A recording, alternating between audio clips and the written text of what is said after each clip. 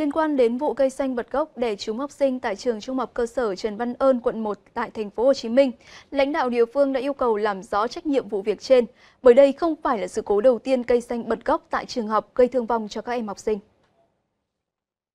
Theo đó, Công an thành phố Hồ Chí Minh được giao nhiệm vụ phối hợp Sở Giáo dục Đào tạo và Ủy ban nhân dân quận 1 nắm mắt lại tình hình sự việc, xác định trách nhiệm cũng như báo cáo Ủy ban nhân dân thành phố Hồ Chí Minh.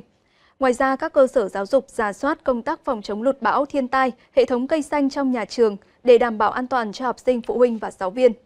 Trước đó khoảng 8 giờ ngày 3 tháng 4, cây me tây nằm trong khuôn viên trường trung học cơ sở Trần Văn Ơn trên đường Nguyễn Văn Thủ, phường Đa Cao bất ngờ bật gốc, đè sập hàng rào chắn ngang đường.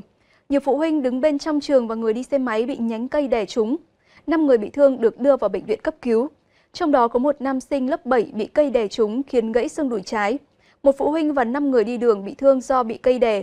Trong đó, một phụ huynh bị thương khá nặng đang được chuyển đến bệnh viện chấn thương chỉnh hình, một thai phụ khác cũng bị gãy xương đùi, những người còn lại bị thương nhẹ. Như VTC14 đã thông tin về việc một số hộ dân tại khu mỏ đá Lâm Năm Ba thuộc xóm Thống Nhất, xã Quang Sơn, huyện Đồng Hỷ, tỉnh Thái Nguyên, dù nằm trong khu vực có nguy cơ sạt lở nhưng không chịu di rời do chưa đạt được đồng thuận về mức đền bù hỗ trợ. Đến nay, chính quyền địa phương cũng như đại diện mỏ đá đã có những thông tin chính thức với VTC14 để trao đổi làm rõ hơn về vấn đề này. Làm việc với phóng viên VTC14, ông Phạm Văn Bảy, trưởng phòng Tài nguyên và Môi trường huyện Đồng Hỷ, tỉnh Thái Nguyên cho biết, trên địa bàn xóm Thống Nhất, xã Quang Sơn, có 4 hộ dân nằm trong khu vực có nguy cơ sạt lở đá. Vào tháng 4 và tháng 5 năm 2021, nơi đây xảy ra hai lần sạt lở đá, nhưng rất may là không có thiệt hại về con người. Từ thời điểm đó cho đến nay, chưa xuất hiện lại tình trạng sạt lở đá. Khu vực sạt lở thì nó ở cái phía uh, bên sườn bên này của một cái mỏ đá. Đấy, thế và mỏ đá này hoạt động khai thác thì có nổ mìn. Tuy nhiên thì ngày hôm đấy thì cũng phát sinh là có một cái trận mưa rất là lớn.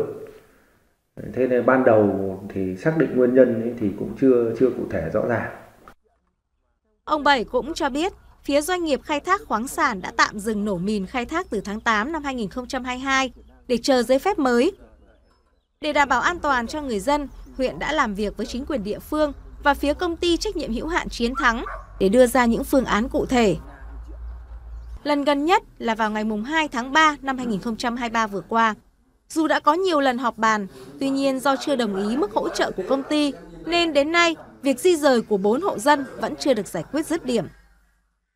Chúng tôi cũng ờ, thường xuyên là có cái ờ, yêu cầu đề nghị cũng như là là là phối hợp thì ờ, doanh nghiệp này cũng cũng cũng rất có tinh thần xây dựng là cũng phối hợp với lại huyện với xã để tìm được một cái hướng phù hợp nhất vừa đảm bảo được cái hoạt động của doanh nghiệp Đấy, vừa giải quyết được cái việc là an toàn cho người dân trong khi đó, đại diện công ty trách nhiệm hữu hạn Chiến Thắng, mỏ đá Lân Đăm Ba khẳng định, khu vực 4 hộ dân ở xóm Thống Nhất, xã Quang Sơn nằm ngoài ranh giới mỏ đá khoảng 280 mét.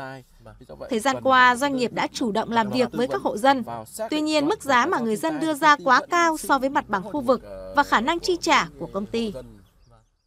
Doanh nghiệp cũng đã sang làm việc với các cái uh, uh, hộ dân thì đơn cử như nhà bà La Thị Định thì có yêu cầu là Ờ, 1 tỷ 8 hay là nhà ông uh, uh, Thiết thì cũng yêu cầu những tận 2 tỷ rưỡi với cái mức tiền quá cao như thế thì đơn vị cái khả năng tài chính của đơn vị nó không đủ để chi trả những cái việc hỗ trợ đó. Tôi cũng mong muốn ba bốn hộ dân ở xóm Đồng Chuỗng kia cũng tạo điều kiện và chia sẻ với doanh nghiệp. Cái mức giá đưa ra bồi thường ấy nó không phải là thấp so với mặt bằng chung đây. Mà tôi xong cái nhiệm kỳ mỏ tôi lại giả lại chứ tôi không lấy như mấy mỏ bên này là lấy đất. Để đánh giá nguyên nhân và mức độ nguy hiểm sạt lở khu vực núi đá giáp 4 hộ dân, Ủy ban Nhân dân huyện Đồng Hỷ sẽ chủ trì hợp đồng với đơn vị tư vấn để đánh giá, xác định các nguyên nhân, nguy cơ điểm sạt lở và thuê đơn vị có chuyên môn tổ chức thực hiện. Ban bồi thường giải phóng mặt bằng, nay là Trung tâm Phát triển Quỹ đất là đã lập 4 cái, cái phương án, trong đó đã tính toán chi tiết cụ thể uh, theo cái, cái, cái mức quy định về bồi thường hỗ trợ Ờ, tái định cư khi nhà nước thu hồi đất để trên cơ sở làm cái nền căn cứ. Thì chúng tôi đã kiểm, thống kê kiểm đếm xong. Đơn vị mà khai thác có tuyên truyền cũng như là thỏa thuận với hộ dân là cũng trên cái cơ sở đó để thực hiện. Không thống nhất được thì đấy cũng là cái cơ sở căn cứ để sau này thực hiện cái việc kết luận nguyên nhân và thực hiện cái thủ tục thu hồi ờ, di rời các cái hộ này. Thời điểm này đời sống của anh em ờ, công nhân ở trong đơn vị gặp rất nhiều khó khăn bởi vì toàn những các cái lao động chính trong, chủ lực trong gia đình mà cứ phải nghỉ để chờ việc, do vậy mà ảnh hưởng rất lớn đến cái cuộc sống của cán bộ công nhân viên ở trong mỏ. Ở mặt khác nữa thì những cái dây chuyền thiết bị nó để lâu mà không hoạt động đến nó gây dỉ xét mùa mưa bão năm 2023 đang cận kề. Nếu như không có sự đồng thuận giữa người dân và doanh nghiệp, những hiểm họa sạt lở đá vẫn treo lơ lửng trên đầu và có thể ập xuống nhà dân bất cứ lúc nào.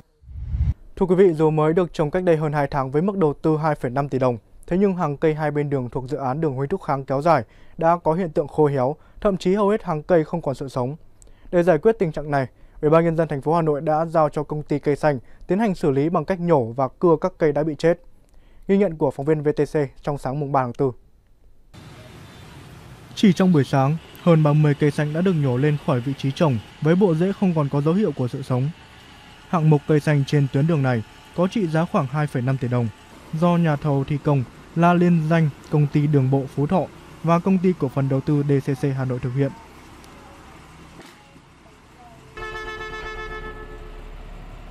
Sau khi cây được nhổ lên, sẽ bị cưa thành nhiều khúc và chất thành đống lên xe tải chẳng khác gì một đống củi khô và trở về công ty cây xanh.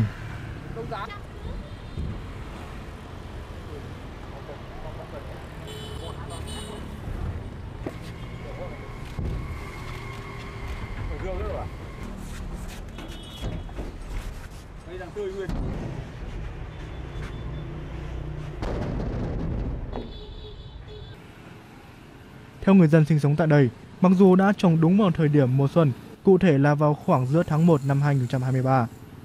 Tuy nhiên lại không thấy sự chăm sóc cần thiết của những người có trách nhiệm nên việc hàng cây chết héo khô là chuyện hiểu được.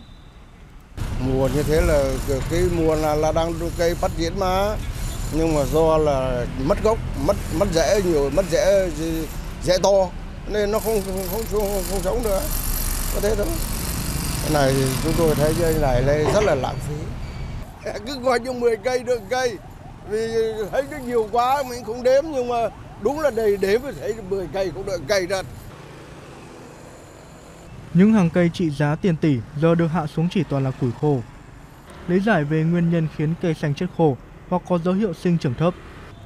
Một cán bộ ban quản lý dự án đầu tư xây dựng quận Đống Đa thuộc Ủy ban nhân dân quận Đống Đa là đại diện chủ đầu tư cho biết là do thổ nhưỡng bị thay đổi đột ngột. Trước đó, đơn vị xác định khoảng vài chục cây bị chết nên yêu cầu nhà thầu thi công thay thế. Hiện trách nhiệm quản lý, chăm sóc và bảo hành cây xanh mới trồng do nhà thầu thi công thực hiện.